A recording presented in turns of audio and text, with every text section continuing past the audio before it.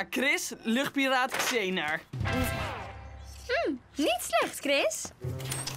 Niet slecht. Man, ik had een ollie boven op de rail en daarna een 360 indie grab in die sprong. Dat is echt niet makkelijk hoor. Net als begrijpen wat je daarnet zei. Eh, ik vertaal het wel even voor je. Chris gebruikt skate-terminologieën die een aerodynamische serie vette trucs beschrijven. Die... Geef terug, Barry. Die is niet voor jou. Dat maak ik zelf wel uit, knulletje. Geef nou terug. Oeh, pak dan. Kom dan, kom dan. Chris, je moet die jongen helpen. Ik? Ik ken hem niet eens. Wat maakt het uit?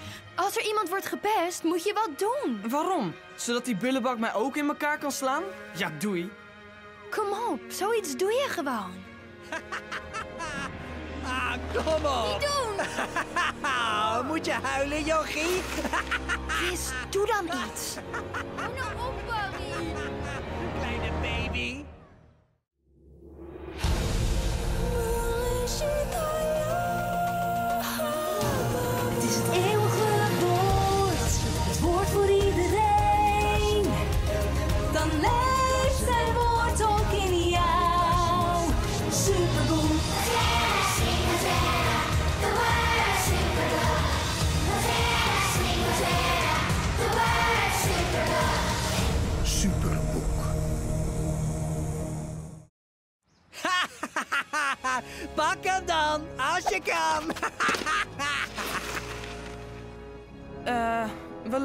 Naar huis.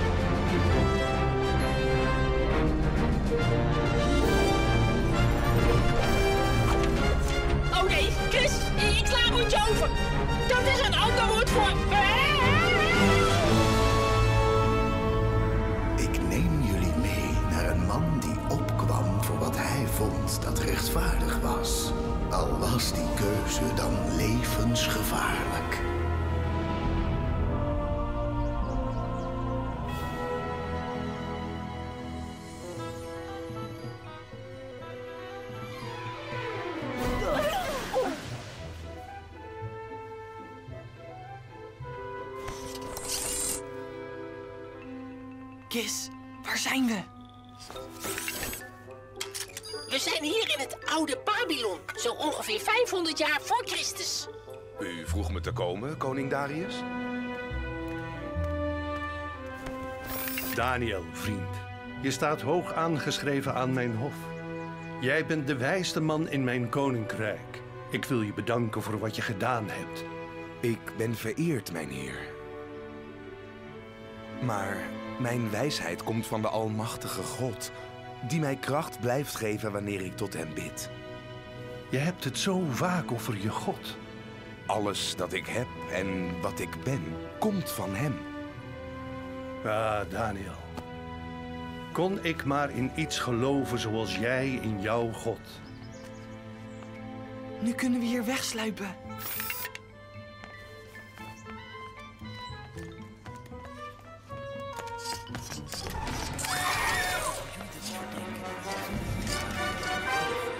Voor een grote sprong, Gis.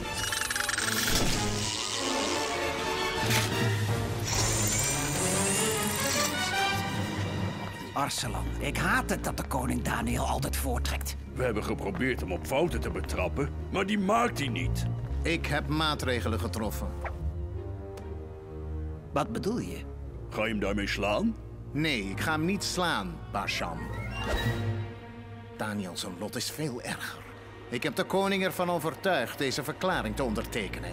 Daniel denkt dat hij zo vroom is als maar biddend. Laat juist die gewoonte hem nu fataal worden.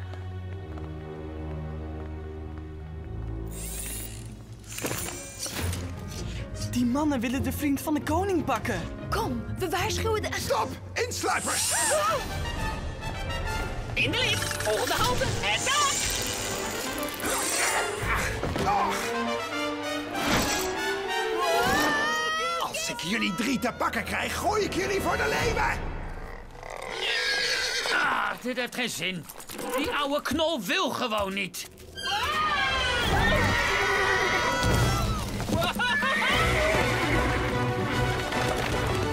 Kijk, dat lijkt er meer op. Hé, hey, hey, kom terug! Dieven!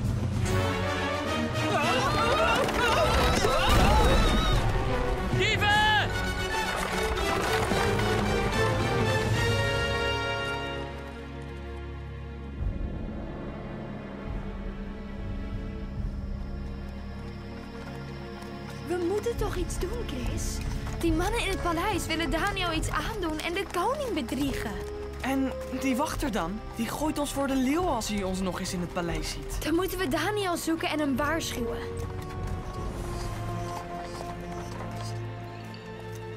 Hallo, eh, hier zijn uw paard en wagen terug. Zonder krasje. Het was een ongelukje. Sorry. Het loopt weer met een sisser af, zeg ik dan altijd. Blijf van andermans wagens af! Meneer, kent u misschien de vriend van de koning, Daniel? Kennen jullie Daniel? Nou, een keer gezien, gewoon. Ergens. Ja, en hij lijkt me een goed mens. Hij schijnt drie keer per dag te bidden. Weet u waar we hem kunnen vinden? Het laatste huis van die straat.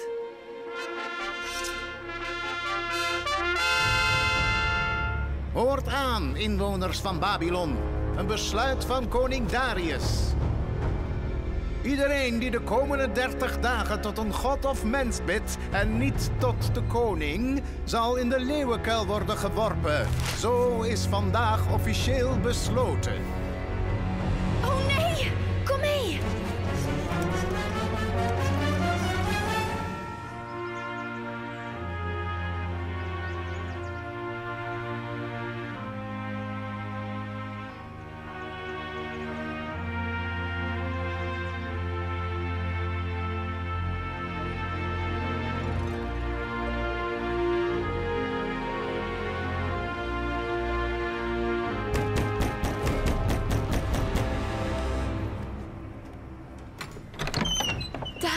Je moet naar ons luisteren.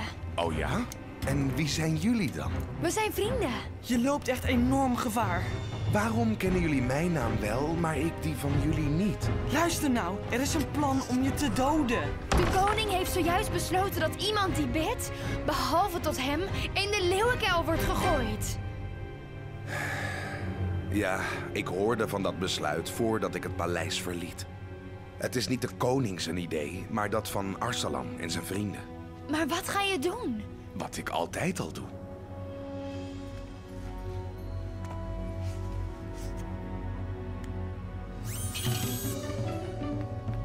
Ehm, zou je niet bidden in het geheim? Als ik bang ben voor wat anderen zeggen of doen wanneer ik doe wat goed is, dan toon ik werkelijk geen ruggengraat.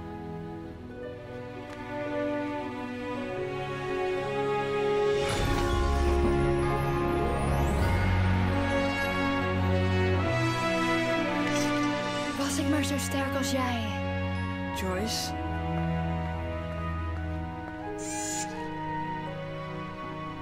Kniel met me, dan zal ik je leren bidden.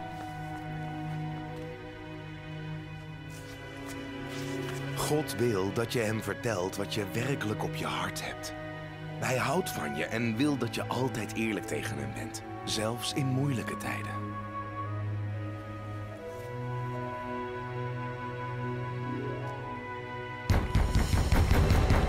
Joyce, daar zijn ze. Ik gok dat dat niet was waarvoor ze gebeden hebben.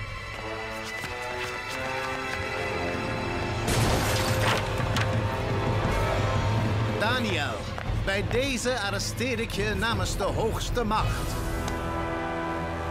Arresteer me maar. Het is alleen niet namens de hoogste macht. Meekomen jij.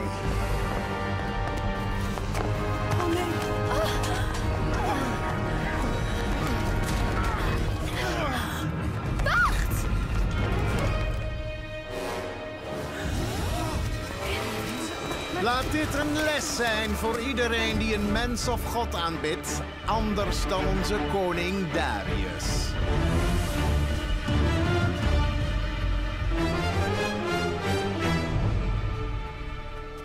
Het leek wel of het hem niet kon schelen dat hij voor bidden voor de leeuwen zou worden gegooid. Daniel deed wat hem het beste leek, Chris. Wat de gevolgen daarvan ook mogen zijn. En dat zouden wij ook moeten doen. Eh, waar gaan we heen? Koning Darius vertellen wat hier aan de hand is.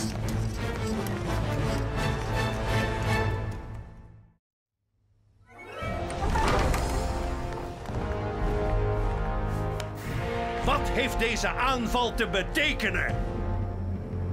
Wij betrapten Daniel die tot zijn God zat te bidden en niet tot u. Daniel, De voorbereidingen voor zijn executie zijn in gang gezet, mijn heer. Daniel is mijn vriend. Een koninklijk besluit is immers altijd de wet. Dit kunt u niet ongedaan maken.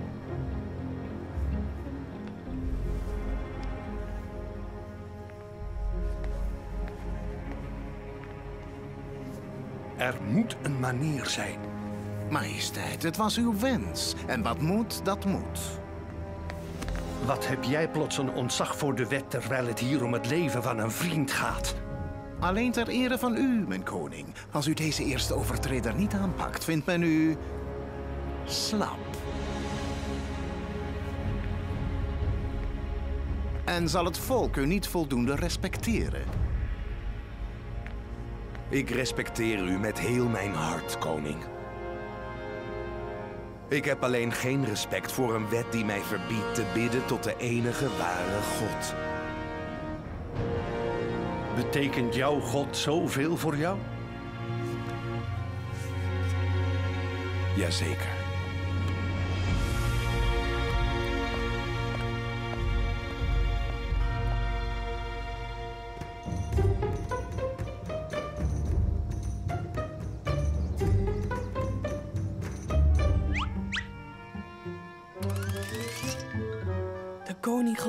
Nooit dat we die mannen dat plan tegen Daniel hoorden bespreken. Dat weten we niet, tenzij we het proberen. Hoe dan? Als jullie zorgen voor afleiding, dan sluip ik naar binnen. Tuurlijk joh. Die wachters hebben stalen megazwaarden en wij vallen ze aan met een stok. Nee, jullie vallen hun niet aan. Jullie vallen elkaar aan. Wat? Jullie moeten zorgen voor zoveel afleiding dat niemand mij naar binnen ziet glippen. En God, jongens!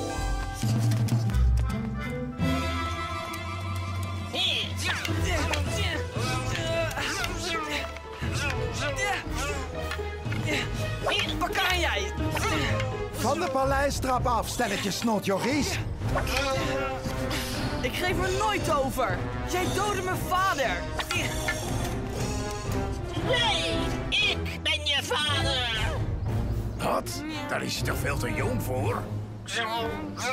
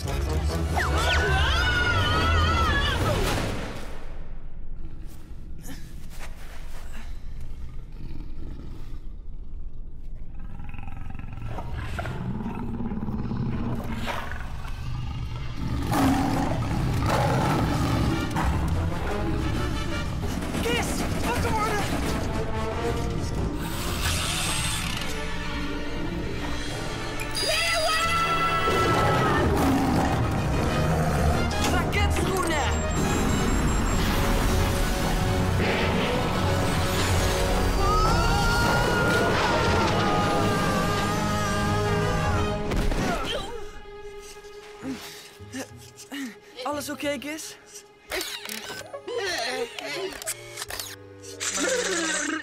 Bij deze is besloten dat Daniel, betrapt op het negeren van het koninklijk besluit, wegens het overtreden van de wet voor de leeuwen zal worden geworpen.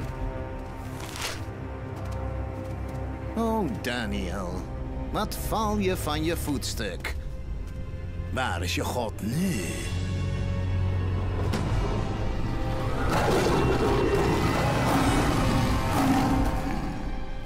De brul van de leeuw straalt macht uit Arsalan. Maar mijn god is machtiger.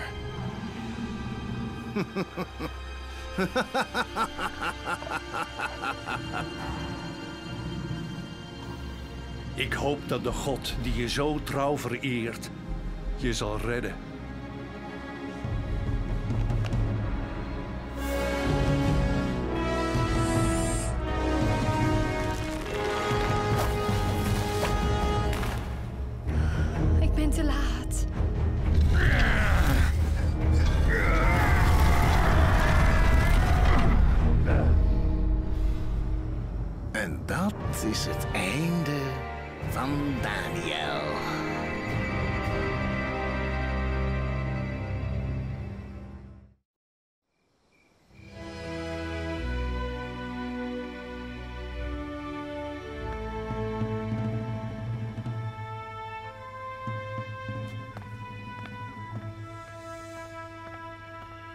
Wie nadert daar?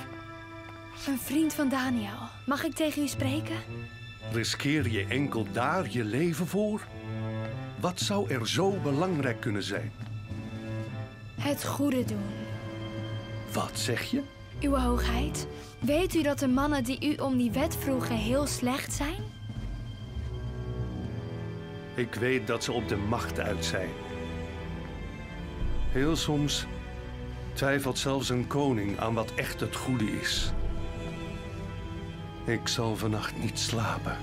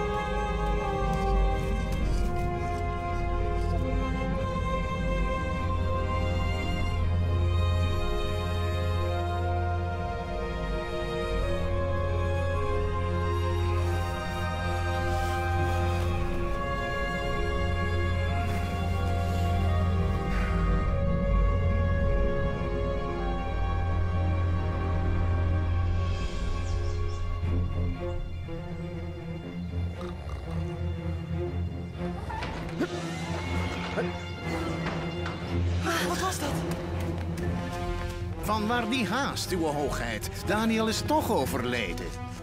We zullen ontdekken of Daniel zijn God echt bestaat.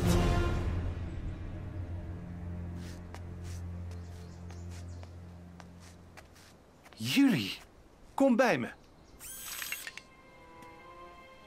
Koning, die twee hebben die problemen veroorzaakt. Die twee en dat meisje laat je met rust. Wat? Het zegel is niet verbroken. Verschuif de steen.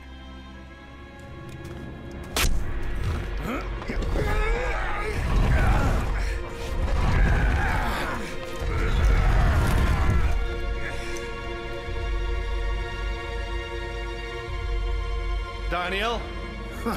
Het praat met een dooie. Daniel, dienaar van de levende God. Heeft hij je van de leeuwen kunnen redden?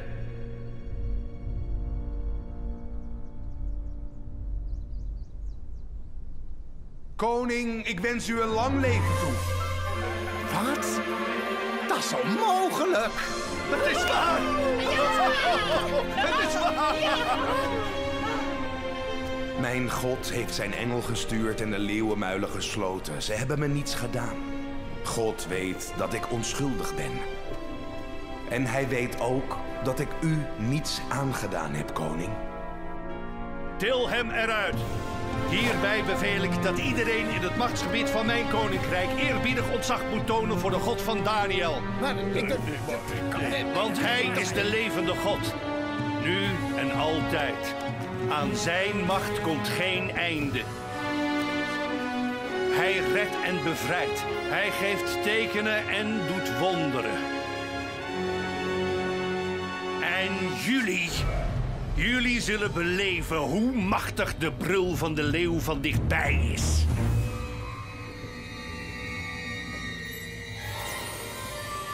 Chris, Gizmo, Superboek brengt ons naar huis.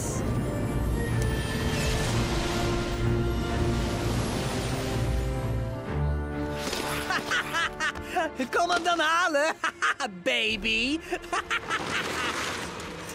Nog niks veranderd. Als Daniel het goede kan doen, dan ik ook.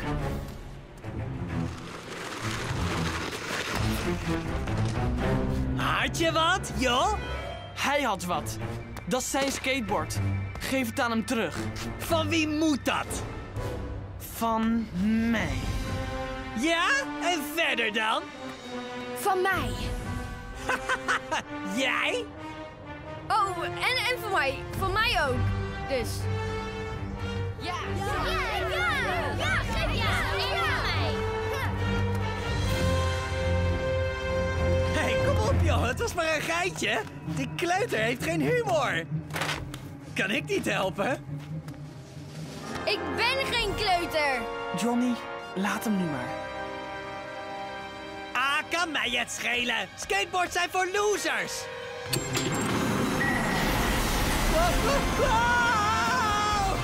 Zo, na die ene keer in de leeuwenkuil heeft Gizmo een hoop nieuwe moves ontdekt met zijn raketschoenen. Me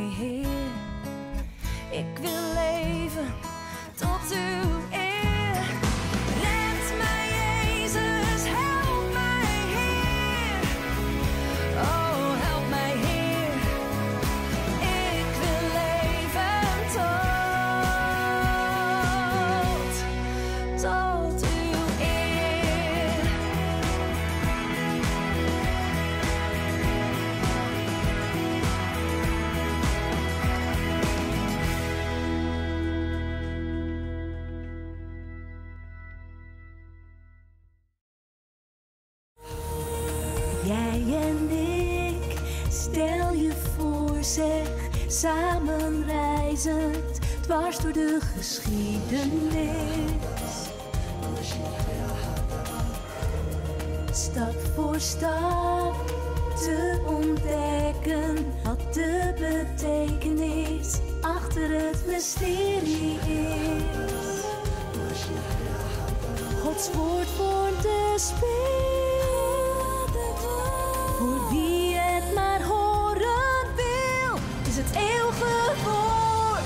Born for